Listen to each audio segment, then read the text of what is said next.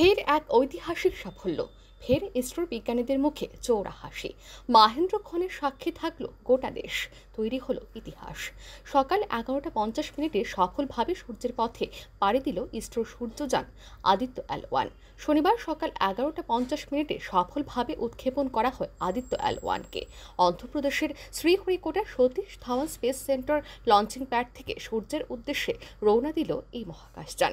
সকাল এগারোটা কুড়ি মিনিট থেকে লাইভ স্ট্রিমিং সম্প্রচার শুরু করে দিয়েছিল ইসরো। সূর্যের বায়ুমণ্ডল সম্পর্কিত বিভিন্ন তথ্য সংগ্রহ করার জন্য আদিত্য এল ওয়ান উপগ্রহটিকে মহাকাশে পাঠানো হলো। প্রায় সাড়ে দশ লক্ষ কিলোমিটার ভ্রমণ করে গন্তব্যে পৌঁছবে এই মহাকাশযানটি এই গন্তব্যে পৌঁছতে আদিত্য সময় লাগবে মোটামুটি চার মাস। আদিত্য এল ওয়ান হল সূর্যের দিকে পাঠানো প্রথম মহাকাশযান সূর্যের অপর নাম আদিত্য। সেই কারণে এই মহাকাশযানের নাম রাখা হয়েছে Aditya. Bureau report R E news